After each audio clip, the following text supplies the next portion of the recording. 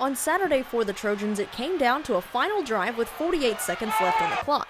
Eric Thomas was praised for his heroic touchdown reception, but on South Alabama's scoring drive just a few plays earlier, safety Jeremy Spikner had the chance to be the hero.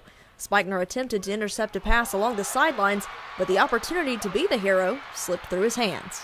I actually uh, played good coverage, had a good break, just missed the ball, and it deflected off, I think, my shoulder pad right into his hands.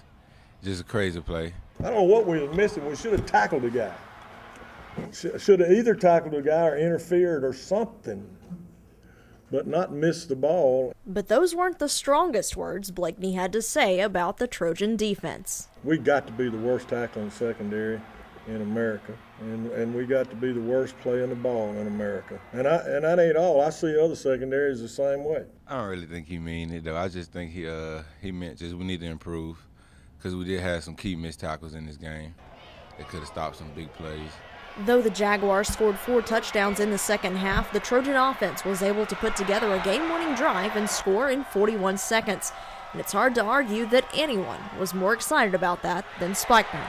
Oh, excited is not even it's not even a word for it. I was uh, I was so happy. Of course, I was happy because 40 seconds ago they scored. We thinking that game pretty much over with.